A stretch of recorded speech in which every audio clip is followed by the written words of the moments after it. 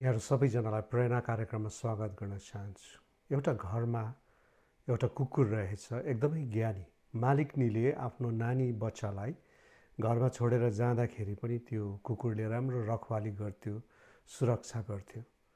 त एक दिन मालिकनी बजार गएछिन् अनि निकै बेर पछाडि फर्केर आउँदाखेरि घरभित्र पस्दाखेरि घर चाहिँ अस्तव्यस्त सबै कुरो लथालिङ्ग देखेछ। अनि नानीलाई खोजेछ नानी पाएन रहेछ। एकछिनमा कुकुर चाहिँ पलङ मुनिबाट निस्केछ अनि पलङ मुनिबाट निस्किँदा उसको मुखभरि रगतै रगत थियो अरे।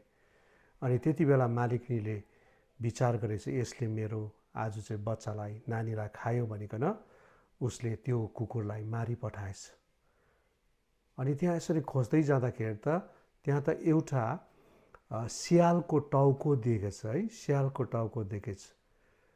अनि त्यो मालिकले अझै बच्चालाई उसको नानीलाई खोज्दै जाँदाखेरि चाहिँ पलङको चेपमा चाहिँ त्यो नानी चाहिँ लुगाहरू एकदमै अस्तव्यस्त भएको है फाटेको त्यो अवस्थामा तर सुरक्षित नै त्यो नानी जिउँदो नै त्यहाँ खेलिराखेको रहेछ।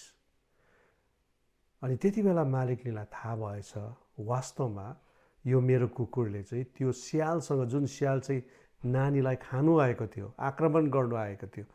त्यो स्यालसँग पुरा लडेर त्यसलाई मारेर त्यसको रगत चाहिँ त्यसको मुखमा रहेछ। यसले वास्तवमा नानीलाई चाहिँ केही पनि हानि गरेको छैन रहेछ। वास्तवमा त सुरक्षा गरेको रहेछ भनिकन उसले थाहा पाएछ। तर इट वाज टु लेट एकदमै ढिलो भइसकेको थियो। किनभने उसले आवेशमा आएर जुन प्रकारको निर्णय लिएर उसले कुकुरलाई मारिहाल्यो अब कसरी त्यो कुकुरलाई बचाउने? प्रिय आज यो घटनाबाट हामीहरू के देख्छौँ भने तपाईँ अनि म पनि केही सोच विचार नगरी एउटा मूर्ख झै हामीले कहिले पनि काम गर्नु हुँदैन। है कुनै कुरो देख्नु साथ त्यसलाई हामीले एकैचोटि न्याय जज गरिहाल्नु हुँदैन। त्यसको पछाडिको ब्याकग्राउन्ड पृष्ठभूमि के छ भन्ने कुरालाई तपाईँ नि मैले जहिले पनि थाहा गर्नुपर्छ। यहाँ बाइबलमा हितोपदेश तेह्रको सोह्रले भन्छ प्रत्येक समझदार मानिस आफ्नो ज्ञानद्वारा काम गर्छ तर मूर्खले आफ्नो मूर्खताको तमासा देखाउँछ। समझदार मान्छे चाहिँ कस्तो हुन्छ? उसले चाहिँ आफ्नो ज्ञानद्वारा काम गर्दछ। उसले वरिपरि जे घटिराखेको छ नि त्यो कुरालाई एकैचोटि उसले न्याय गर्दैन। एकैचोटि एउटा कन्क्लुजन त्यसको क्लाइमेक्स ल्याउँदैन प्रियहरू उसले सबै कुरालाई हेरविचार गरेर समझसँग उसले काम गर्छ। तर मूर्खले चाहिँ केही हेरविचार नगरी उसले त्यसलाई रियाक्ट प्रतिक्रिया गरिहाल्छ। आजको दिन म तपाईँहरूलाई उत्साह दिन चाहन्छु।